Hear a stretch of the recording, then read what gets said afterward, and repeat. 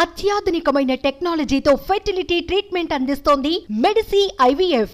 చంద్రబాబు నాయుడు గారు ఇప్పటి వరకు వ్యవస్థల్ని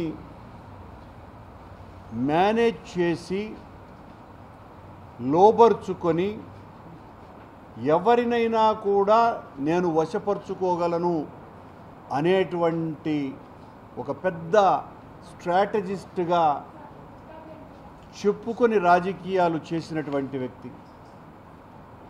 చంద్రబాబు నాయుడు గారి మీద ఈ రోజున మోపబడ్డటువంటి ఆరోపణకు సంబంధించినటువంటి సొమ్ము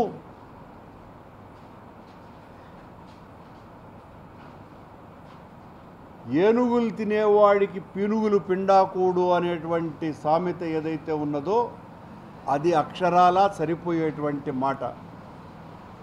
ఈ విషయంలో ఎత్తి చూపబడుతోంది చంద్రబాబు నాయుడు గారి అవినీతి చట్టం ద్వారా.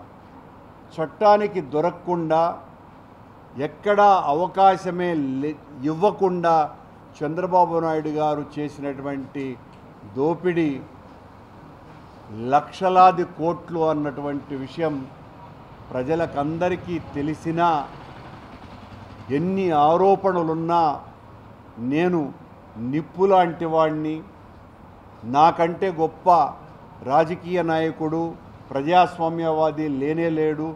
రాష్ట్రపతుల్ని ఎంపిక చేసినటువంటి వాడిని ప్రధానమంత్రులని నియమించినటువంటి వాడిని ఇలా చెప్పుకుపోతూ ఉంటారు చంద్రబాబు నాయుడు గారు. చంద్రబాబు నాయుడు గారు తన రాజకీయ జీవితంలో హత్యలు అవినీతితోనే కాపురం చేసినటువంటి వ్యక్తి. సాక్షాత్తు హరిరామయ్య జోగయ్య నేను మచ్చలేని మనిషిని. నాలాంటి రాజకీయ నాయకుడే గతంలో లేడు అని చెప్పుకుంటూ ఉంటాడు. ఈ రా దేశంలోనే అత్యంత సీనియర్ రాజకీయ నాయకుడు అనని. మీ రాజకీయమంతా కూడా మచ్చలే. ఎంతకాలము సుదీర్ఘకాలం రాజకీయాలలో ఉన్నావు అన్నది కాదు ముఖ్యం. రాజకీయాలలో ఎంత నిజాయితీగా ఉన్నావు అన్నది ముఖ్యం.